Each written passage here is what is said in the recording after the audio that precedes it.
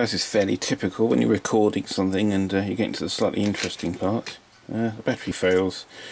So, um, I looked at the input of this uh, comparator uh, and there was no shift on the level at all. Uh, whatever I did on the inputs, inverting and non-inverting, the output stayed exactly the same. So I found another LM324 uh, and what I'm just going to do is I've just replaced it with a, this is where the chip was, Re removed the chip, cut the legs off, um, unsoldered it, fitted an IC socket and we're going to replace it with this LM324 uh, um, pop it back into the unit temporarily and see if we uh, get any luck. Okay let's see what happens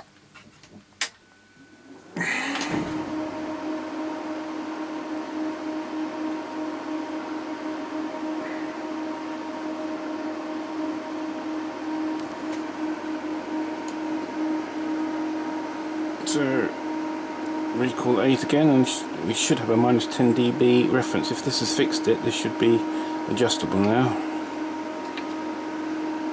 Ah. Excellent. Okay, so it looked like it was that chip. Um, let's give the adjustment. Again, try and find my screwdriver buried. Now that adjustment should allow me to adjust to minus 10 dB reference. Was it minus 10 or was it minus 20? Minus 10 dB. Ah, excellent. There we go. So I have my adjustment back. That's fixed that. So that's that's excellent. So we can run a calibration routine on it now. Uh, of course, the colours off the machine a moment. So let's find the calibration um, routine and we'll see what that does. Right, here's the procedure of running the calibration routine. I've done the recall 8 and we've got the minus 10 dB back, which is good. Uh, and then we recall 9. So, uh, it's recall 9. Sorry, my hands are a bit shaky today. I'm feeling a bit under the weather, so. Um, recall 9. Now what I do with this adjustment is I adjust the uh, frequency zero for uh, maximum gain. Hopefully this will still work. No, that's the wrong one, that's the line. Frequency zero.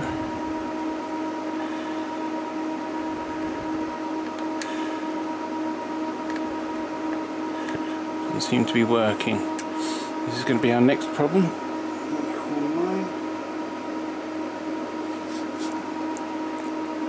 It's interesting.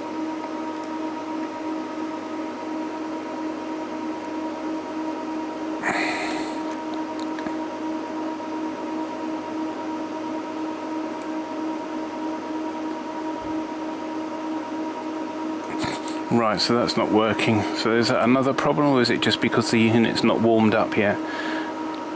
So probably what I'll have to do is I'll come back and see if it works properly when it's warmed up. Well, everything seems to be working okay. The only thing that's a bit odd is when I press recall 8 and adjust the zeros, uh, frequency 0, I can't get uh, a line to come up on the uh, display. Now if I enter the parameters manually, rather than use the recall from the from the ROM, it's no problem at all. I'm adjusted it up and it seems fine. So it suggests that maybe the the ROM might be corrupted, or uh, or I don't know. But it certainly certainly seems to work if I enter the parameters in manually. So we're going to do a, uh, a, calibration routine on the item now. Now this will pick up anything that's wrong with the uh, spectrum analyzer that's not working correctly. I hope this will go straight through. So what I'm doing is I shifted W, which is frequency span, and that will start off the uh, calibration routine. Let's close the door. Get the noise down.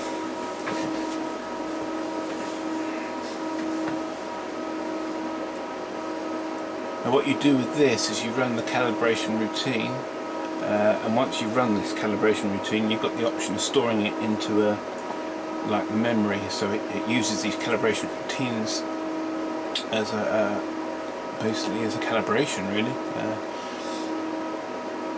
it's also nice to see that because I've adjusted the uh, the marker. The marker was is looking for the 20 20 megahertz reference, and you can see the 20 megahertz reference in the top corner here is spot on. That's good. I don't know how the chip blew up in the first place. It, uh, the only thing I can possibly think of is I've accidentally applied power to it. Um, but no, even that, because that calibration output, it's not, it wouldn't be that, because that calibrated output is straight from the oven controlled crystal oscillator.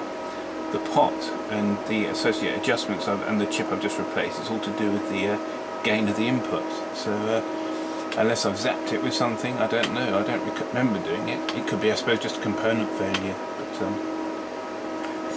it seems to be working. There we go, and it says it's corrected, so it means it's, well, I think that means it's, it's saved it all.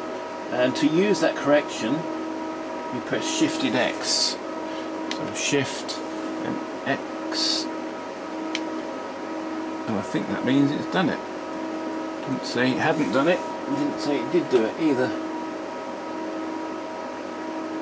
It shifted capital X, so that's definitely capital X. Do it again, shift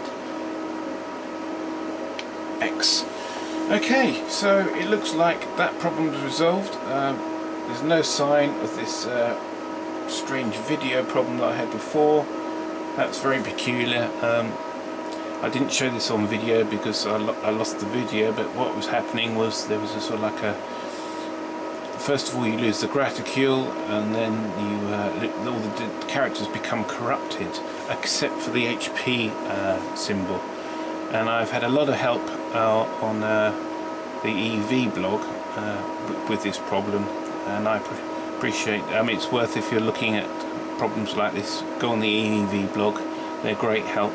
Um, lots of people seem to be quite happy to dig out their old manuals and go through it and uh, help you out. I mean, what else could you ask for? It's almost like a free service. Um, and uh, I'd like to also point out a new uh, member who's just uh, come online. Um, I think it's Defpom.